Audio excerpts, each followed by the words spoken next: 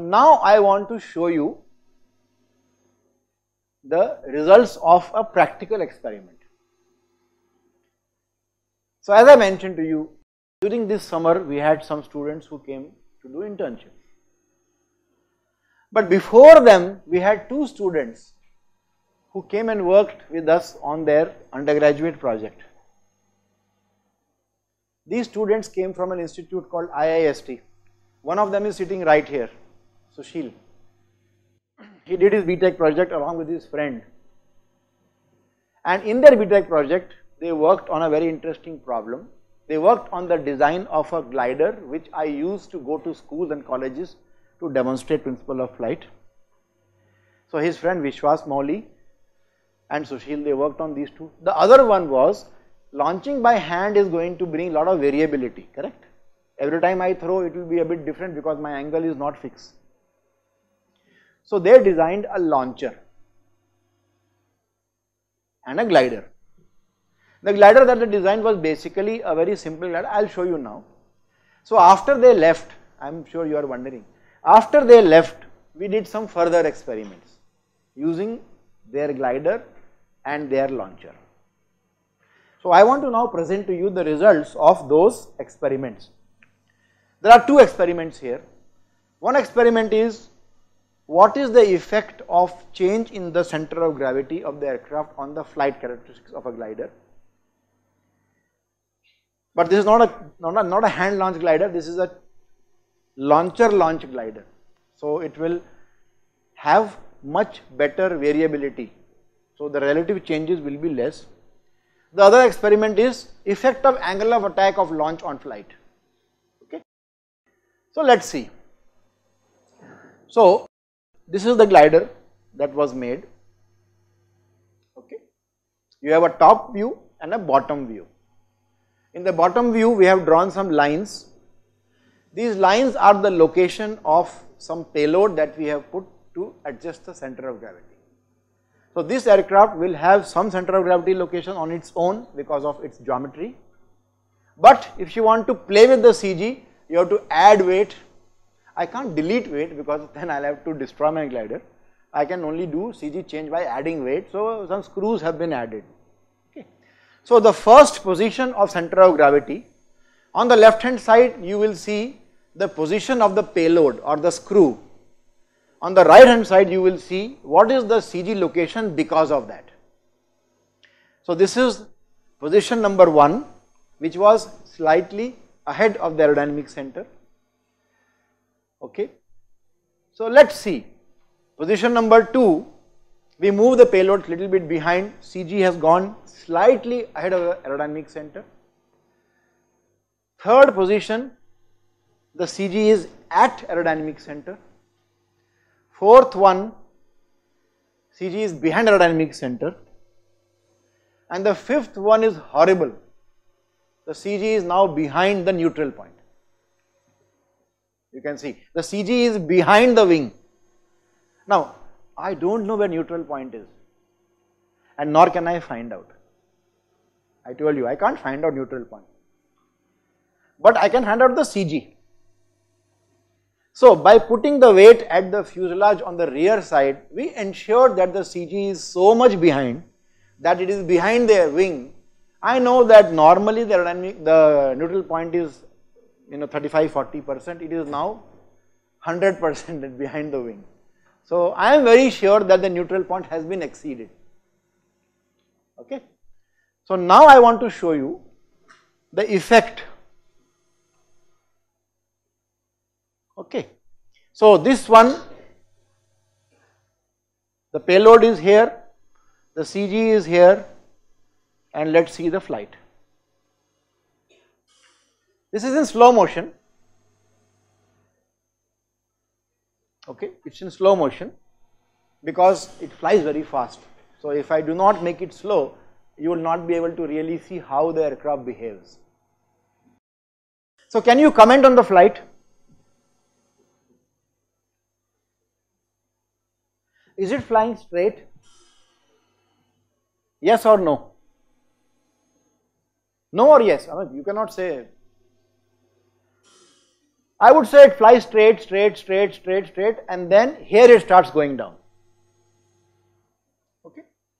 So initial flight path is fairly straight and then is the aircraft flying stably?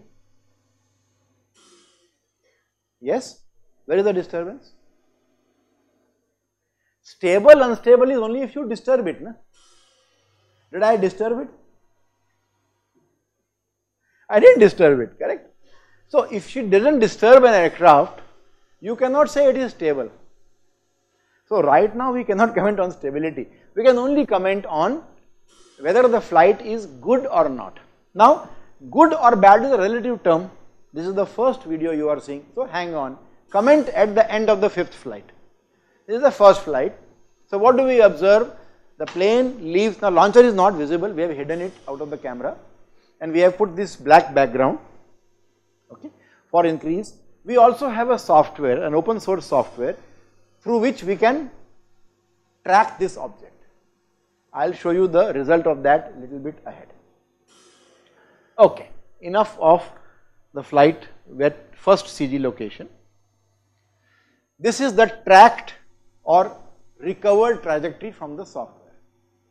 So as I said from a location around 20 from the wall which was the starting position, it flies straight up to around 320 uh, sorry up to around 270 or so okay. This is not meters or inches this is just some frames and then it starts going down. So its range will be approximately 600 in this figure right approximately 600 by projecting it. We do not know but approximately 600 alright. Now let us see what happens if I in number 2 I have moved the CG slightly behind? Okay. It is little bit ahead of the aerodynamic center. I am telling you because of past by uh, this is post facto information. You do not know right now. But we just moved CG behind.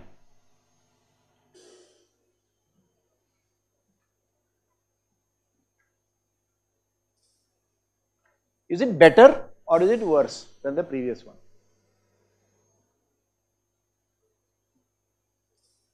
There is a slight amount of roll introduced, do not worry about it. This class is not about lateral stability or rolling stability, this class is about longitudinal stability. So, is this flight better or worse? We have moved the CG slightly behind but still ahead of aerodynamic center. Worse. Why do you say it is worse?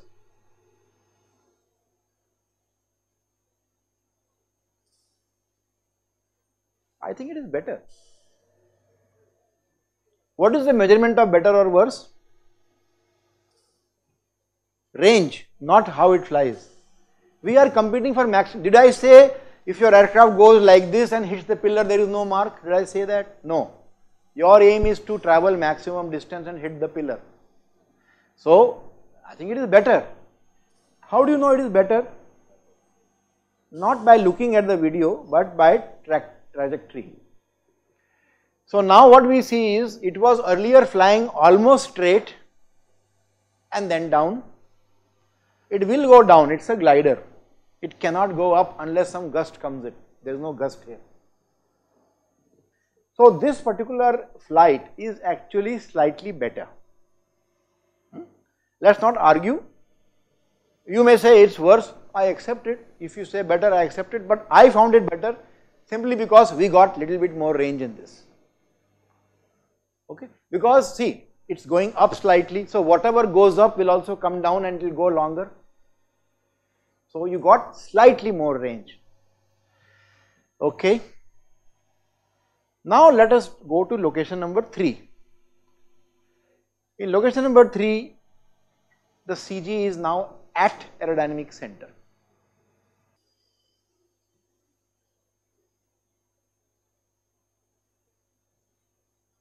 What do you say now? Better? So if you are designing your glider and competing for maximum range, what will you do? One or two or three? Three? Yes. You can see by the trajectory also that the aircraft it now climbs further up, goes down the range we got was more in this case. Okay. You can see surely more than 600 although I wish I would have captured it. See what happens is when you capture with the camera there is a software. So it captures that to some point and then if there are some table or something else it loses so we lose it. So this is the data this is actual data of our captured trajectory. Okay. Let us see what happens if we move the CG further behind. To position number 4 behind the center behind the quarter chord.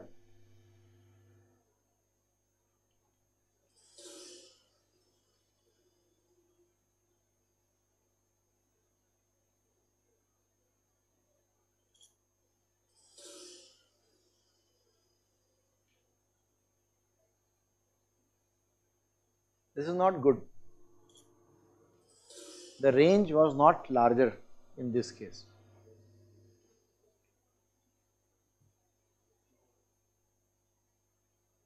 You can see less than 600. Okay. Now we take the worst case which is when the neutral point has been crossed. So the aircraft should actually be unstable in this case But here stability and stability is not going to really matter. What will matter is what angle the aircraft takes or what angle the aircraft trims into when you launch it. So, although you get very high initial climb, but the range is not highest. So, this is what happens you can imagine now, it's like the tail is heavy. So when you throw the aircraft, angle is increasing. When the angle increases, drag is more. So when drag is more you, with the same energy, you are not able to travel much longer distance. So you go like this and then you fall down. So the range in fact was the least in this case. 500. So in short, here is a comparison of all the ranges with the various CG positions. So you can see that these black dots which represent CG at 3 which was we know at aerodynamic center gave us the maximum range. So this is a experimental proof of what we learnt through a toy aeroplane from Scott Eberhardt's book and this is my friends a hint to you to get, now the difference will be now all of you will put the CG at quarter chord. So now who will win? The one which has got better aerodynamics, the one which has got better repeatability so that you do not disturb. Remember we will take average of two throws. So after one throw if it breaks gone, okay. So you have to, I will not take the, actually I will not take the best of two throws, no. I want the design to be robust. So if your plane breaks after first throw, then you have only one reading. Okay. If your plane performs bad after second throw, it's actually a bad design. Some people will say, we will break the plane after first throw. Because where you get negative marks, it's up to you. You take a call. Alright, this is our conclusion. Okay, now why did this happen? There is no stability in these calculations because there is no disturbance. So, it is not to do with stability. So, what is it to do with? If you have listened carefully and if you have listened carefully to what I have shown you today, then you should be able to answer. So, why is it so that at position number 3, CG at number 3 position, we had the maximum range.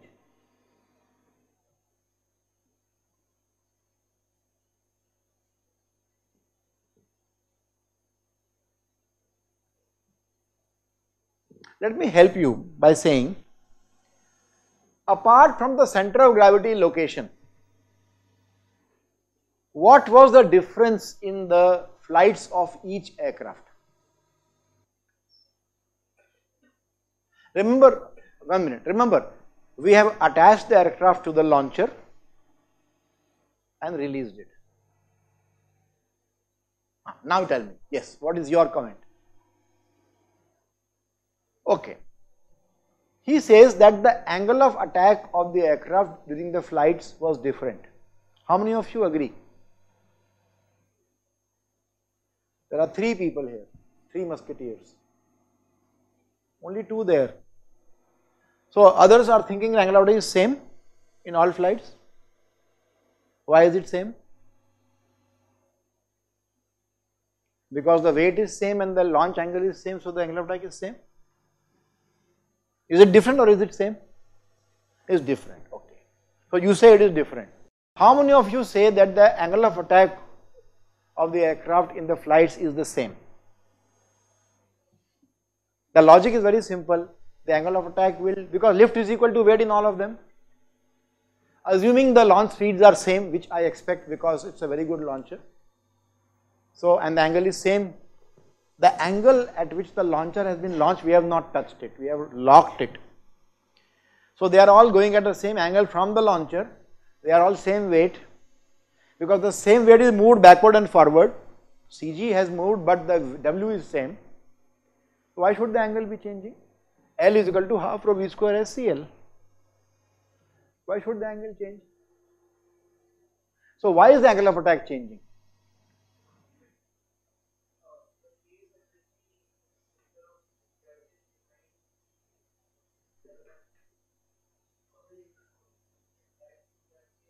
behind neutral point. Okay.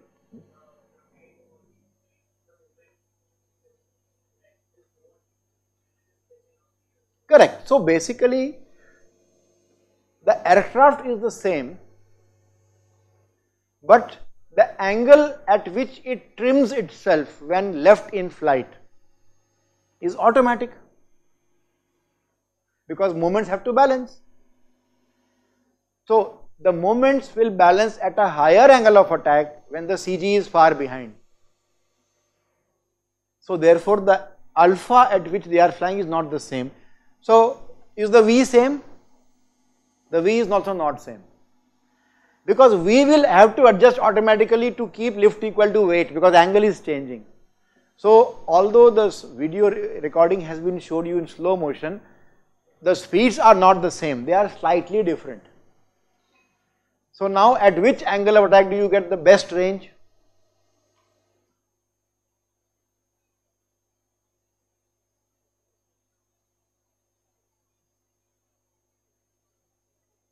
The angle of attack at which L by D is maximum. So that is what is happening.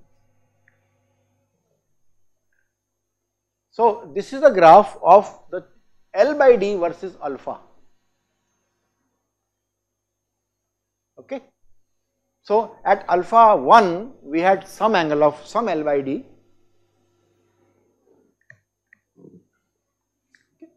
At alpha 2 we had some L by D, at alpha 3 we had the best L by D, at alpha 4 we had less, alpha 5 was the worst. So that is why at 3 I get the maximum range. So on the left hand side we have the flight, flight profiles on the right side we have the corresponding alpha positions. Yes. Mm -hmm. No, no, no. It is not the launch angle. The launch angle is same for all.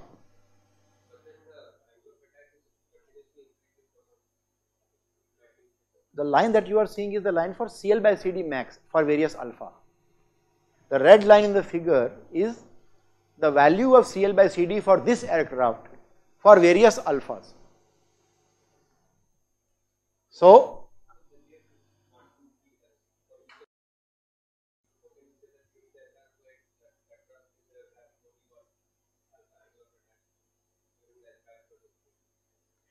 because the aircraft will automatically because of center of gravity orient with the flight path at an angle at which the moments are cancelled or balanced. So, it will fly at this condition throughout. Now, you cannot see the flight, you cannot see the arrows of flight direction and the angle of attack. So that's why you cannot see. But the angle between them is the constant in the entire flight. Once the aircraft leaves the launcher, look at the flight number 5, what happened? When you launched it, it became like this. Now it went like this only, correct? So if you draw a line which is the trajectory and if you draw a tangent to the flight path, you will find the angle is the same. So what is happening is the aircraft is flying at different angle of attacks at which LBDs are different. So the same aircraft is having a different range. Okay. So now let us look at the neutral point. So now I want to show you the effect of the effect of stability. So far it is no stability. So first position,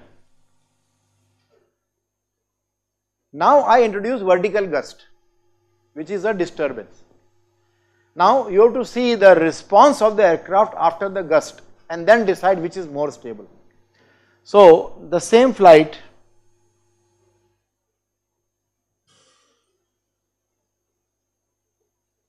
the first one and now what we have done is we have put a small disturbance. We have put a small fan. So you can see behind the fan the aircraft responds in fact here the response is happening even before the flight slightly because this fan is not giving me just a clear vertical gust It's not giving me a stepped gust. The fan is actually going to give me a band, a fan of air. So the effect will be highest just above the fan at this point. So the aircraft responds beyond that. Remember this is a slow motion recording. So once the aircraft crosses the fan, now look at the response. Okay, this is when the CG is at number 1 position. Let us see CG, now I have skipped 2, I am just trying to save some time. So at number 3, without gust,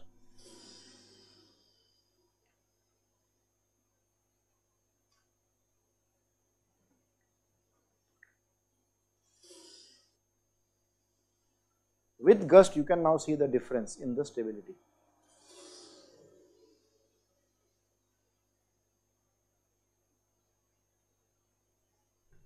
So it responded but responded little bit less. See now the air hits it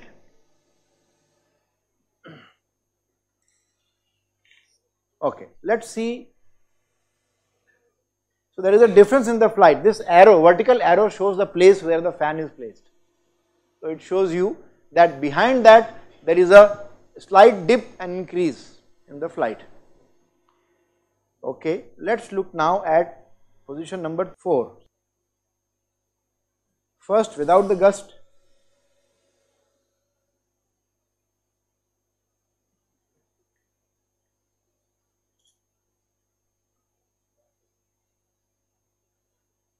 now with the gust. The gust acts now, the aircraft responds to it. So now what is happening is unfortunately these experiments we have to do them little bit with more care because you are actually going so much above the fan that its effect is getting depleted but still you see the reaction there is a continuous increase even here because this fan is not going to give only a straight line like this, it is going to give a band of air. So I think if you see the response of the aircraft, it starts falling here. So I would assume that this area is being affected by the fan. Okay, and let us see now the response when you are behind.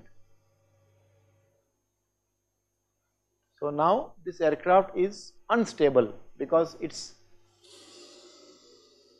there you go. The moment you throw angle of attack becomes very large and then it immediately starts descending.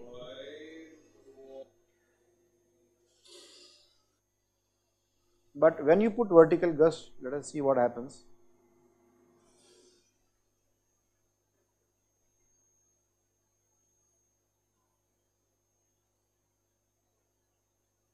I would say not much effect because the air is not able to reach. But if you see the data that we captured, so instead of coming down, it is actually going little bit, the angle at which it is falling is reducing slightly. Okay. So these are experiments we tried. Then we have flights at different angle of attacks. So I will show you quickly. Now here we have given the alpha, yes. Hmm. Yes, more stable position. Yeah. No, least. It will be the least. So, response should increase. Yes, the effect, the effect of the gust should be more. Unfortunately, it is flying so much above that by the time you reach there, the, the numerical value of the gust is not the same. I want to show you also the effect of angle of attack very briefly. Now you can see the launcher also.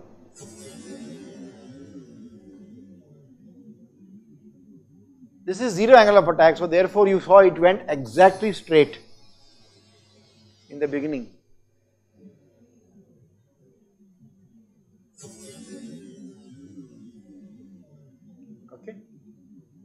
These are results taken by you, right? Ah, these are the recordings by, by him and his friend. You will see them also.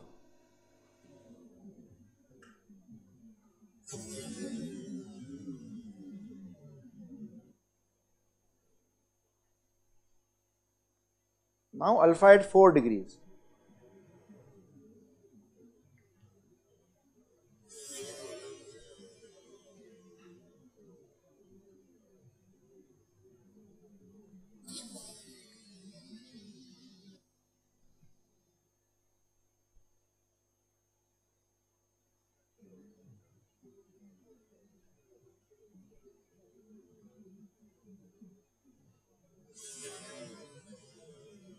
8 degrees.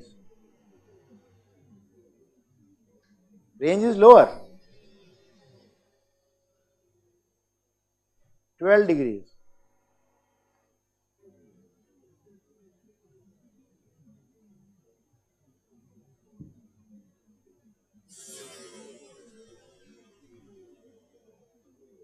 Range is lower. L by D is going to be maximum at one particular angle. That is not 8 degree or 12 degree, but at a lower degree, approximately 3 to 4 degree. So that is where you will get the maximum range.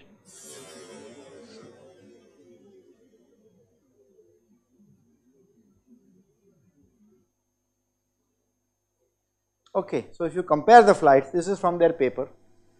If you compare the flights, you find that in this case the maximum range came for actually 0 degree but the next angle we had was only 4 degree. So maybe at 3 degree or something like that, maybe we could have got a good one. And you see a horizontal line on the ground, that is because of the sliding on the ground of the glider. After falling it slides, so that gets recorded. Alright, so that's all I had for stability and control.